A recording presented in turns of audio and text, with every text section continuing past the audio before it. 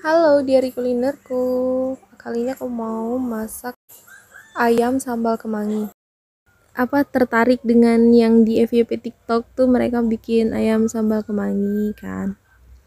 Aku cuma ingat waktu itu bahannya adalah kemangi dan ayam Yang lain-lainnya kayak bawang, daun, bawang merah, bawang putih itu aku perkirakan aja sesuai selera, sesuai bahan. Yang penting ada kemangi dan ayam, sudah menurutku tanpa aku coba masakan ini pun aku udah tahu kalau ayam ini bakalan cocok sama kemangi dari aromanya aja.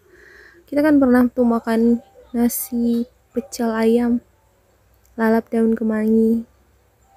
Di situ aja kayak kalau kita makan nasi pecel ayam itu tanpa daun kemangi tuh kayak ada yang kurang gitu loh Nah, di sini ayam apa si kemanginya tuh dijadikan kayak bumbunya, rempahnya dimasukkan ke dalam adonan sambal ayam ini. Rasanya bener-bener cocok, enak banget. Sedangkan bawang daun ini karena aku suka bawang daun makanya aku masukkan ke sini. Cocok-cocok aja sih. Terus apa lagi? Yang penting kita kasih kaldunya, perasanya cukup ngasih garam gulanya atau penyedap yang lain pas gitu ya udah ini akan jadi masakan yang enak banget. Untuk sambal yang diaduk-aduk begini dengan dicampur bahan makanan yang lain misalnya telur balado ikan juga ikan goreng sambal yang diaduk-aduk juga aku lumayan bisa masaknya lumayan enak.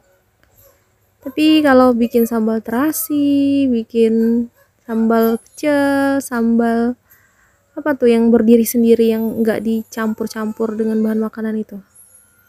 Sambal bawang atau sambal korek apa lagi istilahnya sambal yang ada di Indonesia?